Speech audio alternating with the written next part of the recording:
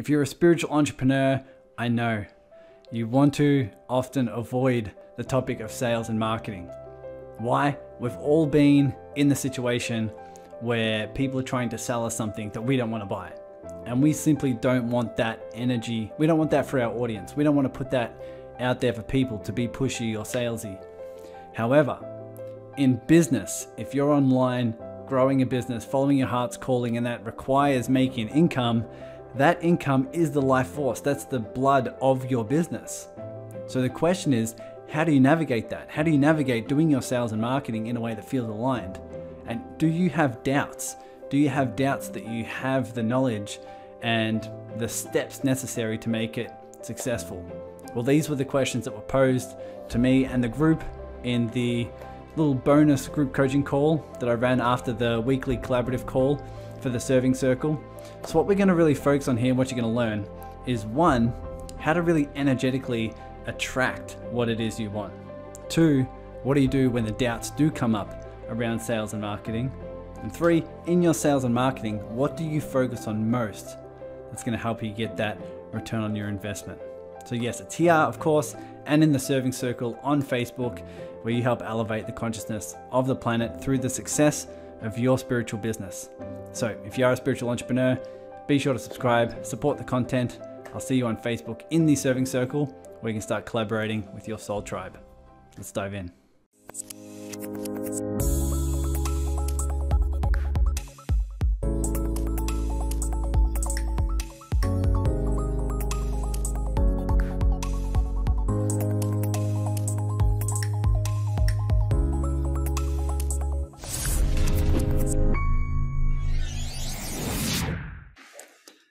So I like to uh, just do some of these bonus chats, not only to answer some questions, but to also get some of your expertise as well. Maybe you've done some things that work, maybe you've done some things that don't work, or any ideas that you want to share that you think might be really cool. Because I know if you have been in business for a while or you have some expertise with some things that I don't.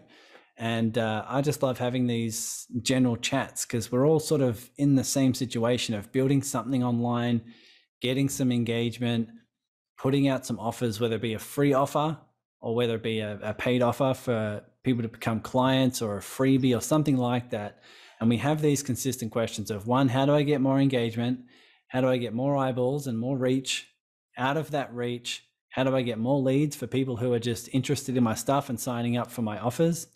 And then how out of those leads how how many people are converting into paying clients so that you can serve them you can help them get from a to b in a more direct and more helpful way? And how those sort of questions um, can be answered more resourcefully. So does that resonate with you guys? That's something you're working on? Cool. Well before we uh, i think if you guys just take a couple of minutes to come up with some questions. If you do have any specific questions relating to you, your business, the way that you're doing your content, the way that you're doing your marketing, feel free to um, to come up with a question, or if you do have something you want to ask me, uh, make sure you write it down or, or get ready to get ready to ask it. But before we do so, let's just take a couple moments to breathe, because as you guys know, this is more of an energetic, emotional, spiritual journey than anything. So I'll give you guys a chance just to breathe deep and see what comes up for you. Around the topics of marketing, business, sales, creating offers, building a program, what's the overall energy? What's the overall emotion that you're bringing to this challenge? What's the overall emotion that you're feeling when you're working on your business? So if you take a deep breath right now and just breathe deep and sort of pay attention to what patterns are coming up, let's see what's there. If I was to ask you, what's the majority, what's the predominant emotion that you're feeling when you're working on your business, what might that be? May there be some emotions that you're trying to avoid by working on your business. Maybe you're trying to avoid the feelings of failure or judgment or sadness or not being enough or all these different things. So just have a quick intuitive scan of your body and your energy field, what comes up for you? So if you guys would like to type in the chat, what's one or two emotions or some things that you notice when you're working on your business, when you're doing your content, when you're about to create an offer or put out your offer? What are some of the majority of the emotions that you're feeling along that journey as you do so? So let's type that in the chat and see what comes up and see uh, see what we can work on. So Amy says frustration. Very key one. Very common. Chris is asking, what are the next steps after the creativity? What are you what are you asking there, Chris? You know how when you dream up of a program and you go to market it, and all of a sudden you don't know marketing enough to say, what's my next step? Oh, cool, cool, cool. So you've come up with an idea and you're not sure how to uh, implement that. Mm-hmm. Awesome. Yeah, let's talk about that. Cool. So we say some emotions rejection, fear, and excitement. Isn't this almost the same? Yes, I would say so. Time pressure, confidence level, fear of success, overwhelm, drain of energy, having to spend time on computer, overwhelm. Awesome. Now, everything that you're feeling right now, that what I see in terms of challenges isn't what's coming up. What I see as a challenge is whether you're resisting it or not. So let's get a let's get a gauge. You can even just ask yourself this intuitively, but on a scale of one to 10, 10 being full resistance, zero being no resistance at all, at what gauge, where are you at on the resistance scale to these emotions? So if you notice an emotion and you think, holy shit, this shouldn't be here. Can't believe I'm feeling this again. I thought I'd worked through this. I'd be better if I was feeling something else. I need to get rid of it. Is there resistance to the emotion? Like, for example, frustration. Are you frustrated the fact you're frustrated? Do you think the frustrated shouldn't be there? Do you think, oh my God, I need to solve this problem of frustration and you're trying to get rid of it? These are the questions we can ask ourselves around the patterns coming up. Now, I know a lot of you study my stuff and listen to the podcast and do all these different things with my content, but one subtle reminder is that the more you feel fully an emotion, whether it be frustration, anger, fear, doubt, concern, the more the pattern comes up, the more the emotion comes up, and the more you hold it without resistance, without judgment, that pattern just does whatever it needs to and it starts to flow through you. It's coming up because it's coming out. It's coming up because it's ready to be seen, it's ready to be processed, and it will leave in its own time. Not because you're trying to make it leave, but because you're holding a loving, safe space for it. It does whatever it needs to. Therefore, your soul gets to expand from that contrast, that experience, that felt emotion, and it will flow. It will flow through you in its own time. Now, the reason why that's bit, that's beneficial because the more we resist emotion and push them down unconsciously, what do you think that's going to do to the energy? For example, if you have a pattern that says, I need to succeed to feel enough, I need to make money to feel safe, they're generally some common ones. What do you think your audience is going to feel in your marketing and when you're creating offers?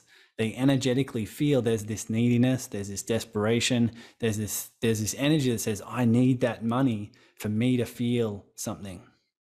I need your engagement for me to feel something about myself. And what life is teaching you is that's not true. Who and what you are, your safety, your significance, your love, your ability to feel abundant and joy is not determined upon that external circumstance. So, therefore, if you feel into this, you can see that it's not in your highest interest. It's not in your highest to receive something that meets that pattern. It's you may be at a point where life it's not your it's not in your highest for life to give you the money that is your safety. Who's following? We're all following? It's now, it'll be in your highest for you to purge and heal the pattern that thinks I need money to be safe. So therefore, you feel divinely safe whether you have, you know, a, million dollars in the bank, a hundred thousand dollars in the bank, or one dollar in the bank, and you feel divinely safe. That's when you may be safe to receive it. I'll go on a bit of analogy I use is the uh, child with the ice cream. So if you ask a five year old, hey, what do you want? They say ice cream. Okay, what do you want for breakfast? Ice cream. And then they have ice cream for breakfast. And they're like, what do you want for lunch? Chocolate ice cream with sprinkles. I'll mix it up. Now you can see from the adult's point of view, they know exactly what they want. The question is, is it what they need? You can see from a, a higher level of vibration or a consciousness or a deeper level of awareness, that's not in their highest. Now, what if you, in your this spiritual journey and having this temporary human experience, you're like, what I want is this money, this amount of income, this amount of clients, this amount of Instagram followers. I want my mum to think this about me, whatever comes up. Like that's what I want. So let's go meditate so I can achieve those things. But what if you're trying to achieve those things from an energy that you're trying to also purge? What if a five year old went to meditate every day and it's like, I'm just not getting the ice cream every every meal. So I need to do more meditation. I'll probably in I'll probably do more yoga. I'll probably uh, read some things in Sanskrit and then also um, do some some Bible verses. I'll increase my meditation to you know 14 hours a day, and then the universe can finally welcome me with the ice cream every meal. It's kind of there's kind of some deeper things that need to be asked here, right? And that's what the business journey is all about. What the business journey is, it presents you with what you're ready to heal what you're ready to heal in yourself, whether you have fears, whether you have attachments to outcomes, whether you have judgments about the world, where you're in resistance to life and says, hey, there's something to look at here. So, can we all feel there's some things that as we take our leaps, there's some things here that we need to heal, there's some things we need to see within ourselves, there's some judgments, fears, attachments that we can notice. Who notices? I certainly do. It's all part of the beautiful journey. So, is, does anyone have any questions before we move on to Chris? Does anyone have any questions about that process or trying to uncover certain things? Any questions come up? Feel free to show your hand or anything. Make sense? We're all good? It broken some things up in you to sort of get you thinking? Awesome. So that's what I would pay attention first is what energy are you bringing this challenge? Is this, are there some things to see in yourself? If so, sit with it. Hold space for it, send it love, go through the deep healing process. If you need the process in the welcome pack of the serving circle, there's the spirit in business course. It walks you through the steps of how to do this. So you guys are in the serving circle, so you have access to that complimentary course. It'll walk you through the steps how to process everything and how to recognize these patterns. Let's go to Chris and Chris's question. So, what are the next steps after the creativity? So, if you have creativity, if you have uh, certain things in your mind, certain things that you want to create in the world, the question is, what's next? So, Chris, do you want to give us um, indication on where you're at with that? Specific uh, specific questions on what you've come up with or what you're feeling the next steps are? Well when i was at maui i got this understanding of what i needed to do and start helping people get it more in touch with themselves on a spiritual path. Instead of just doing the talk it's doing the talk and the walk so I'm like, okay, four week course. It came up with four weeks, came up the timeline in the subjects, but I always get stuck for me. And I've always been told, Chris, you've got to understand SAM. And I'm like, I don't know a SAM. And they said, yes, that's part of the problem because it's sales and marketing. So I didn't realize that that's what most people refer to as sales and marketing was SAM. And so it's knowing what you don't know and you're trying to be competitive or you're trying to get the message out there and when you put it out there you're not sure if your content's okay. It's it's all those doubts. I think it's it's the doubts that really really comes up for me that like oh i know it's good enough. I know it's meant to be but what if? What's beautiful. next? beautiful. So as your heart guides you to something new as your heart pulls you to your next leap there's a couple things we can recognize. One it's going to be unknown your heart never guides you to what's known. Your heart will always guide you to what's unknown. And two, there's going to be some stuff coming up. Right? So what so think about what your next leap is. Your next leap might be, hey, I need to put out this offer. I need to create this program. I need to connect with this person. I need to get on this podcast. I need to start this podcast. I need to whatever your heart's guiding you to that one feels exciting and two feels scary to your mind and then think about in order to take this leap while i'm taking this leap what's coming up in me around what does my mind fear most? We can leave it at that. What does my mind fear most? Whether it be failure rejection judgments of other people holy shit i'm going to go broke. Oh my god i don't know what i'm doing. I'm not good enough. All these things. This is why your heart's guiding you to this leap is to show in you what you're now ready to see and heal. That makes sense, but it's still the, when you get those ass puckering moments, Tyson, mm-hmm. and it's just before you get the message completely, and you're you're now getting this in in a vision in your dreams, and then you wake up at three o'clock in the morning and you start writing things down and then you're like oh did i forget something? Did i did i miss something? Did i mm-hmm. get the whole message? So you start doubting yourself and and yeah, it's cool. in that doubt that there that's where the confusion comes up with. Cool. So what so what you can do is say okay give my, let's give myself permission to feel doubt. What if i do miss something? If i do miss something what will i feel? Will i feel like i'm not enough or i feel like it's it's wrong and i made a mistake right? And even giving yourself permission to feel confused. So, giving yourself permission to feel doubt, giving yourself permission to feel confused, and holding a loving, safe space for this inner five year old that says, if I make a mistake, this is going to happen.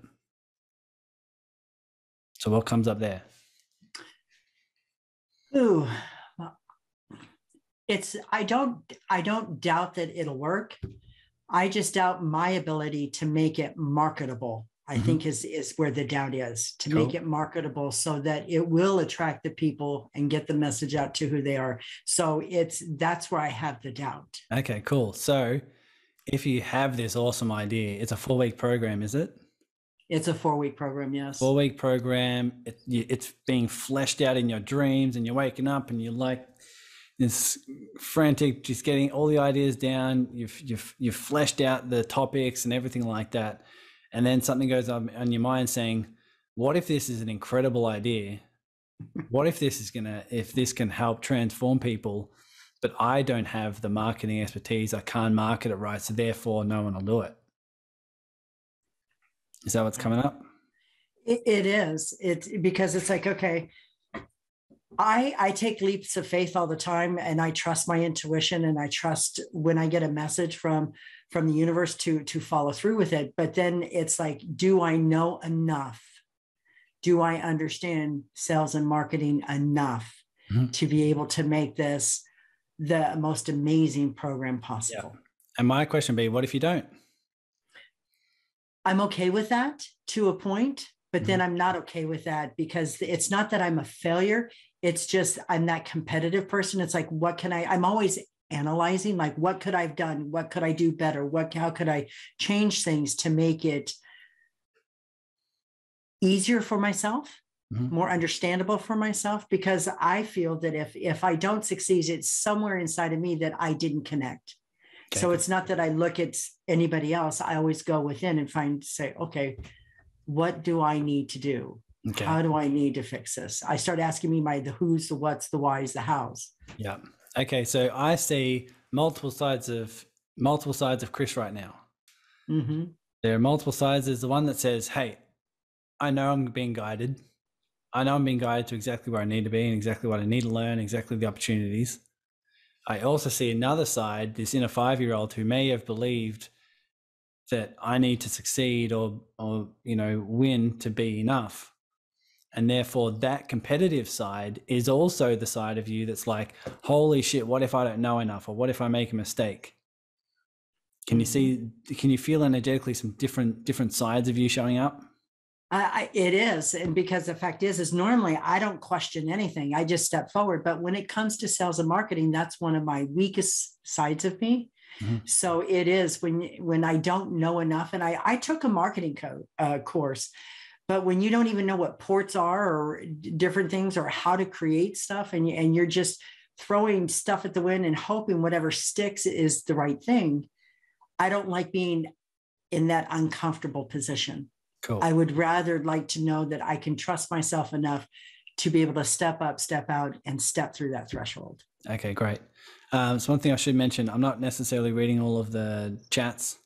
Um, so if you mention something in particular, then um, I might have missed that.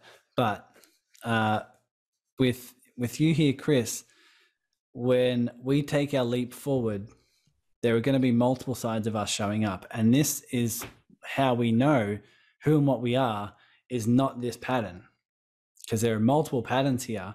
The side of you who deeply knows that there's there's some uh, that you're going to be guided where you need to be, that takes these leaps of faith, then there's this this side of you that freaks out a bit that says, "What if I'm not good enough? What if I don't know enough?"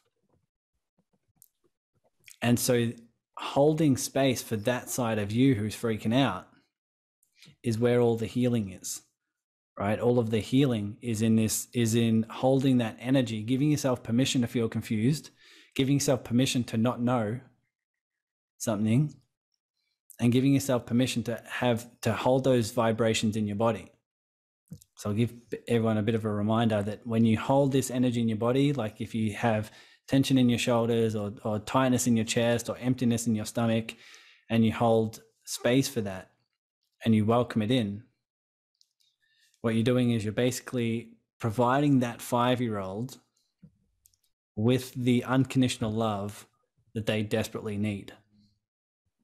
Right? You're holding, mm-hmm. you're, you're giving love to that inner five year old who believes I need to achieve to feel enough, I need money to feel safe, I need to be seen in this way to make sure that I feel I feel loved or whatever it may be. Now, I, I agree with that, uh, Tyson. It, it it's resonating with me right now. But I was a competitive swimmer, so that's how I got through life, and so that's where I get my competitiveness mm-hmm. for it's but it's i i was a swimmer so i had to compete my own times. I didn't it wasn't a matter of beating somebody else it was beating myself. Cool. And i think in in me that's that's where that that conflict is. Cool. Awesome. Well here's the thing also that's still a side of you who believes that winning or being or consistently um, improving means something about you. And and it is true these patterns allow us to progress, allow us to grow, right? They've done everything that they were meant to do. And yet, life also has another level for you that says, who and what you are is not this outcome, right? Who and what you are energetically, spiritually, is not your marketing efforts.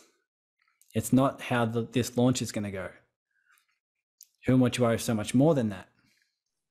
Now, as that side of you flows through, I believe that'll do more for your marketing as a byproduct than any other than any particular copy or strategy. Right? So the byproduct of of healing this in a pattern that says, "Oh, I don't energetically, emotionally, or spiritually need to be attached to this outcome. It doesn't mean anything about me." That will allow the resourcefulness necessary, whether it be unconditional love for yourself, creativity, playfulness, fun, determination, patience, whatever internal resources are needed for this the success of this launch. It's not necessarily going to come now from the achiever. It's going to come from another side of you, especially if the achiever pattern is overdeveloped. Mm-hmm. Right. Who who else here from a show of hands? And I'll get to you in a second, Deb, as well. Uh, who from a show of hands here has ever noticed that that achiever side of you running the show? Anyone been there? now it's funny when we're when it's overdeveloped, it can help us grow as a child, help us grow through our life, and and let us know that hey, we're not the victim of life. Who and what we are is so much more than the victim. We can actually achieve and and create from ourselves the life that we want. And then life says, hey, if now that level of consciousness has been reached, let's go to a different, a, deeper level of consciousness, a more heightened level of consciousness where who and what we are is not what we achieve now, right? But it's also now what we receive. It's sort of becoming from the achiever to the receiver. It's like who and what I am is not what I achieve. Who and what I am is what I receive. It's what flows through me, right? I'm now the channel of what flows through me. Now, can you imagine if who and what you are is more flowing through you in terms of your energy, in terms of your creativity or fun or playfulness, how much more can you how much more could your clients benefit? How much more can your audience benefit? How much more resourceful can you be in your content? How much more resourceful can you be in creating programs for people? And what if you're just so goddamn excited about it, it does the selling for you?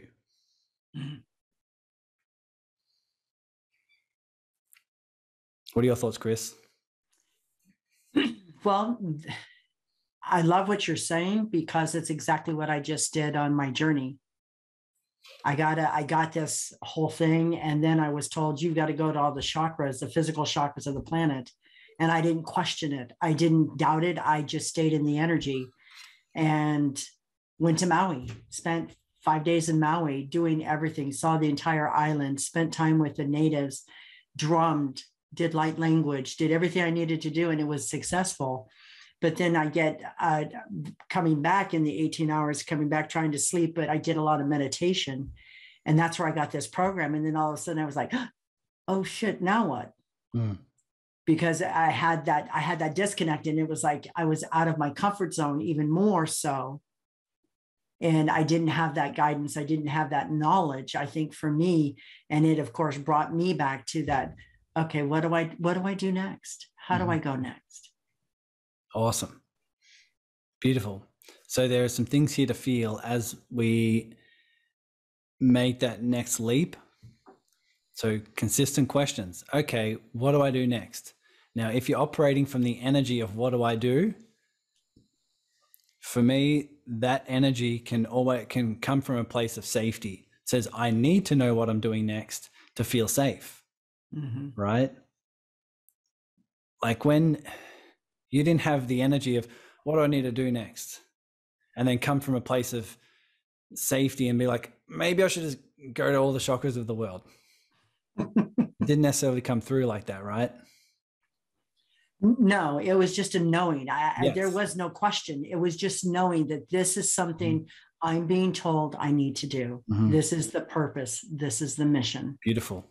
Now, the question I always ask is what feels most expansive?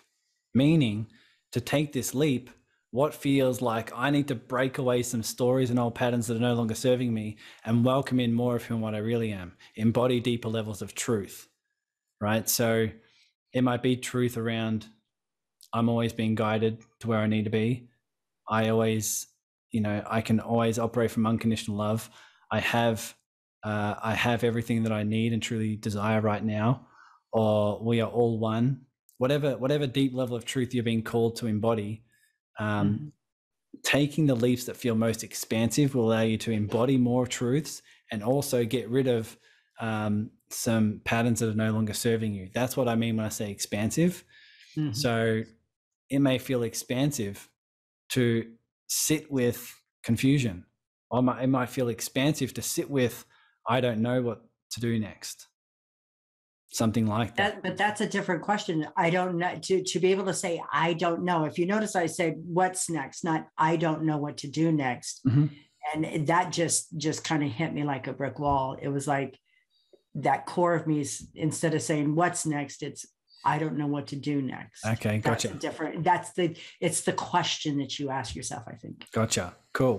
Because then once you focus on your inner healing, you focus on what feels in your expansion. So, oh man, it'd be it'd be so cool to do this. It'd be so expansive to do this. All of a sudden, you then you can then ask yourself some more business questions. You can then ask yourself some more questions around your niche, around uh, what your audience needs, around how to communicate it in a way that's clear and compelling, and then to create an offer that's a no-brainer. To create an offer that's irresistible for someone um, to be to be on board with it right so then you can ask yourself those those questions as well before we do deb king you have your hand raised anything you wanted to add ask what's going on Oh, yeah. I'm loving your approach, Tyson, in terms of really connecting with feelings and making it all okay and, and um, emotions. I just wanted to reflect to to you, Chris, that even though I don't know you that well yet, so I'm very excited to connect further. Um, the fact that you have this superpower to be guided into the unknown, to do all the amazing work you've already done, to go to all the chakras, it's like you have that superpower to just ask what's the next step and tune in for your inner guidance you have all the answers. With marketing, I've never heard of Sam, and I did a marketing degree and done lots of different sales and marketing programs. And so I would challenge you to say you already have everything you need. With respect to marketing, we've entered a new era. Anything that worked in the past doesn't mean it works now. Mm-hmm. Everyone's just guessing and experimenting. Some stuff will land, some stuff won't. It's not about knowing for sure anything. So to just have fun with it and play because you actually have everything you need. You're amazing. Enjoy. I'm sorry I have to go, but thank you, Tyson. I'm really delighted to be here and thank you, everyone. And mwah, mwah, thank you. bye. thanks deb. Yeah what um it's so true that as marketing evolves uh it's almost like for for marketing in itself for engagement and community or you know for it to work it needs to be different right? It needs to be different. Therefore you can't necessarily follow a particular tactical or strategy of the past. Because nowadays everyone's running you know certain workshops or certain um, webinars and these sort of things. And so it's no longer it's no longer perceived as a value add anymore. It's seen as a marketing funnel. Right? Can you guys feel this if you say hey Yeah. I'd, lo- I'd love to invite you to my to my webinar. It's on saturday between this and this people know it's it's basically it's it's like a sales pitch. You're inviting someone to a sales pitch. Um, it didn't used to be like that. People be like oh man a webinar? Awesome. How do i jump on a webinar? That'd be cool. It sounds like fun. Sounds like a movie. Sounds like a free movie. Um, but it's it's not like that anymore it's and so we really as we become resourceful do our inner healing and ask ourselves the resourceful questions of what's expansive and what my audience needs. It might be different from what's happened in the past and what some marketing experts are saying. No one told me to start a community. No one told me to grow a community. No one told me um, to do collaborative calls. But out of my six hour meditation of just purging so many things around money and fears and uncertainty, I just had the insight that said, hey, if you build a community and you just fall in love with serving, then everyone else will take care of itself. Everything else take care of itself in terms of income and clients and opportunities and collaborations, and you'll get exactly what you need, which isn't always what your mind wants, but you'll always get what you need. And so that's just what I trusted. And I left my job, been doing this full time for over two years now. And it's just, I just follow that. So it seems like, Chris, that's exactly what you're doing. You're following this and ask yourself those questions. But I, from what I feel, is that because of your passion, uh, you'll be able to ask yourself resourceful questions of what your audience needs and how to how to market it in a way that's fun for you and also expansive for them So whether you um, whether you have your particular uh, messaging and having some real key messaging things in terms of who it is, the problems that you're solving, the outcomes and transformations you're helping them achieve, and then putting some real things in there around why is this vehicle or this method methodology why is it so important they know this? Why is this the best option for them? Communicating that from your heart. And then putting something together that is expansive fun maybe meeting their needs in ways that no one else is and um, and and generating that type of engagement so what would you feel I, I, yeah that that's amazing because Tyson, when I was in Maui, I took a well ride and I told the naturalist, I said, wouldn't it be nice if at some point a well swam right past the boat? 20 minutes later, a well swam right even with the boat. Everybody's like, What's that blue, light blue thing in the water? And she goes, Oh, that's a well. And she turned around and looked at me. I said, Yeah. I, and she goes, You manifested that. I was like, Yeah, I did. Wouldn't it be nice? But when it comes to, um, I guess for me, to put things out, but to help people, wouldn't it be nice? And I didn't think of that question until just now when we were talking about it in that moment that I had in Maui. Wouldn't it be nice? Mm. Tyson, may I say something? Go for it. First of all, Chris, you're so magnificent. And Tyson, so are you. it's just such an honor to be here in this space at this time of our evolution the thing that comes up for me, Chris, to say that's along the lines of what um, the gal whose last name is King said, and Tyson, certainly what you're doing with, with this conversation, is that because you are so connected and because you are so uh, congruent in terms of being clear about you are here to serve, you recognize your power to connect with the spirit world and your intuition. What might give you a little more feeling of a kind of stability for you to consider is to think about a particular scenario, a favorite quote unquote client, a single focus, a single personality, a single problem that you solve, just as Tyson said, and is, is common in the marketing world. Just one thing so that your your ego self which is not negative by any means we are both. Your ego self has a focus. And then your intuition can come funneling down through your wording uh, whatever you're writing whatever you're putting up online. My feeling is is that the more you narrow who you know you're talking to you will start to feel this download in a way that's going to feel more more the word that keeps coming up for me is stable. Because like because what you are describing that happens to you is that you start to leak energy. And i feel that you you get there because you have such a broad vision of who you can help.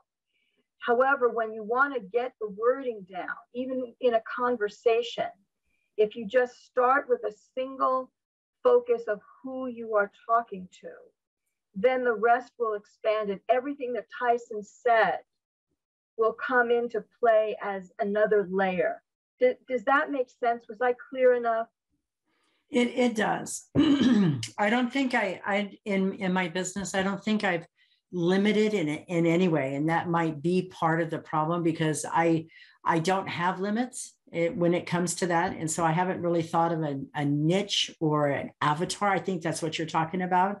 And well, well, what I'm, yes, that's close. But what I'm talking about, because you have such a powerful heart, a, loving heart, and again, you're so connected to your purpose that it's it's not so much a limit it's not so much an avatar as much as it is what you know you the, the type of scenario that you love to serve because it, it, it, does ultimately come down to niching and avatars, etc. But I don't want to come at it with that wording because that's too like um, Tyson, I think you said that the old marketing uh, scenarios are, or Deb, I don't know, somebody said that the old marketing uh, paradigms are, are crumbling. So, what I'm saying is if you just focus on the kind of results that you love to bring, and imagine the person, not even a group of people, but a person that you are talking to that needs your help. I think that that's a good place to start so that you, it's kind of like having some guardrails because you're so creative, you're so expansive. And it might be just, it might be an interesting thing to just experiment with. And as far as you being competitive, I do want to, I'd like to just address that if you don't mind. Um, Go ahead. Your, your, what you call competitive, I call clarity of drive. I, I would not ascribe, I mean, this is my definition of competition. I would not layer that on you because you, your heart is greater than what we typically think of in terms of competitive. What I feel for you is that you're drawn clear and it is so right in tune in tune with your soul that you just want to get it done and you mm-hmm. want to get it done well and you want to get it done fast and you want to get it done now now somebody else might consider that to be competitive but i don't see it that way because your heart is not to do better than somebody else just for the sake of doing better than somebody yeah. else your heart is look, I know what I'm here for.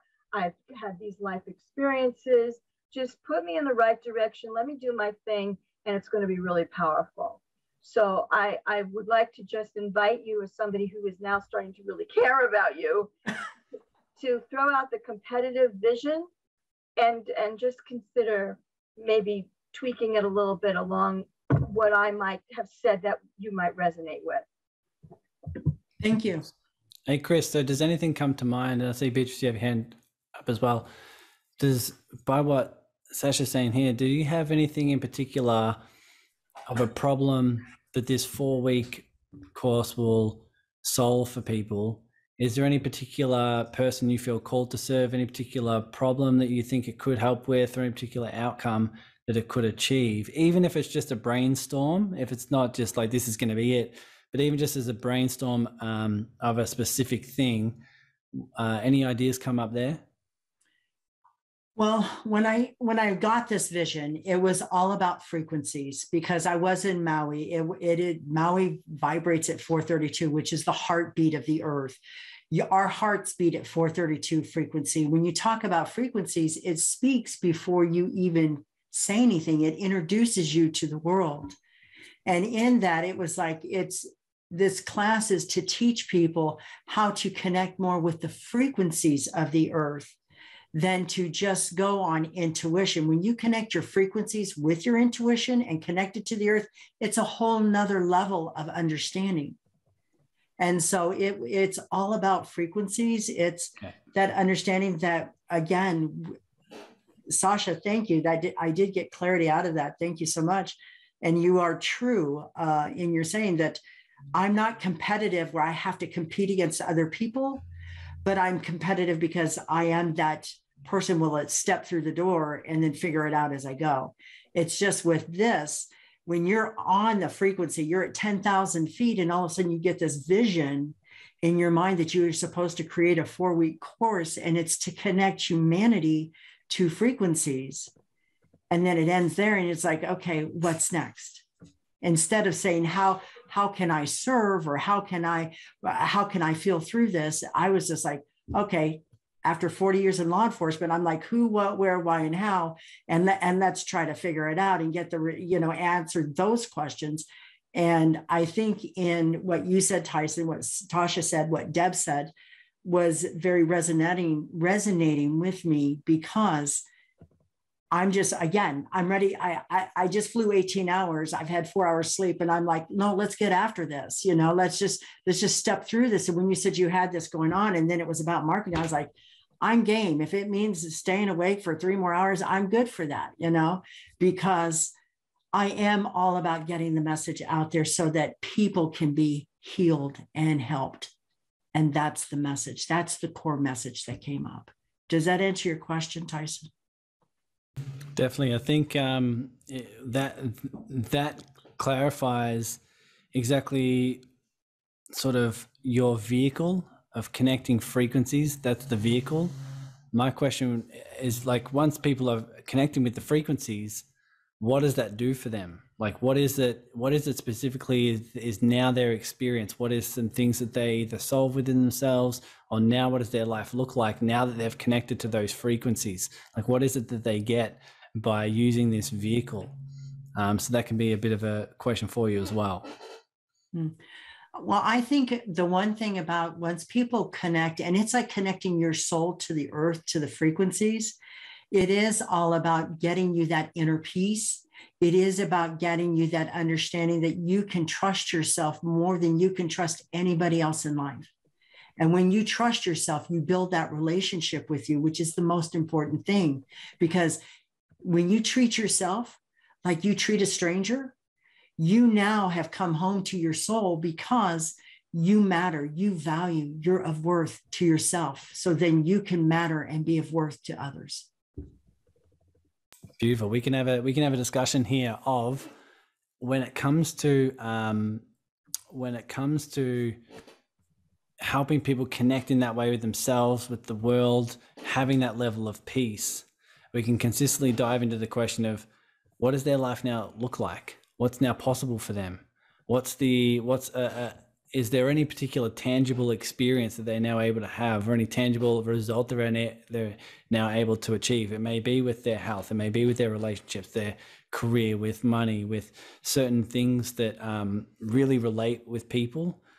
Um, does anything resonate there and what what could be uh, just uh, the word the, yes actually the word that came up was while you were talking was they don't respond to triggers mm-hmm. they allow themselves to respond for them and not be triggered by what other people say or do. They don't take it personally. Beautiful. So, for example, if you have a program or course helping someone uh, be less triggered around their in laws, or be less triggered when it comes to uh, finances, and people like, holy shit, when it comes to finances, I just close up. Or when it comes to my in laws, I'm just they say something, I'm like, holy shit. Or like even with, you know, I'm with my husband and he says this one thing and all, all of a sudden I've lost the plot. And when you say, when you give someone those tangible uh, challenges in their life, you're like, hey, what's necessary for you to go from triggered in this scenario to feeling some feeling some peace so that you can evolve and give the give that scenario what it needs for its highest.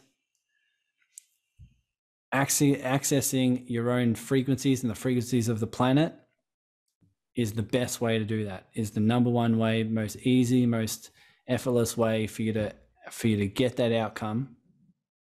And what we're going to do is show you how that how show show you how to go through those steps of how to make that happen and that's that's exactly what i want to do that's that's the the program yeah now this isn't necessarily your uh, communication. This is just, and your messaging, yeah. this is just an example of just how to make it a bit more tangible. Uh, Beatrice, you had your hand raised. Is there anything you want to add here? I just yeah. love the fact that when we trust ourselves so much, all of a sudden we can do anything. All of a sudden we matter to ourselves. All of a sudden there isn't anything in life you can't accomplish because we take so much for granted in ourselves and so much in our inner strength and our abilities that so many people live in fear. So many people live in that notion that, oh, I could never do that. And they can. It's just opening those locks on those that soul to, to show them how, when you get in touch with frequencies, it opens doors personally, professionally, and in your um, in your career? Yeah, I, Tyson, you're muted. Oh, sorry. Yeah, I said I'm on board. Where do I where do I sign up? I, I was going to say, I was going to say, Chris. Now you're talking from soul, and when you're talking from soul, it resonates, and it instantly resonates with me because you know I had an amazing experience where I came to Australia and I was protecting a forest and I slept camping out somewhere south of Perth, and the trees screamed out for my help during that night. It was heartbreaking. It was so, so powerful and so painful. But I just knew why I came to Australia for that as well to hear those old trees talking. And when you're talking about what you're doing, that's what so resonates with me because I parked it. I didn't have any space for it because I was building my business. And so when you say I have to offer, I have this to offer, this really, really resonates. And I so agree with everything that has been said.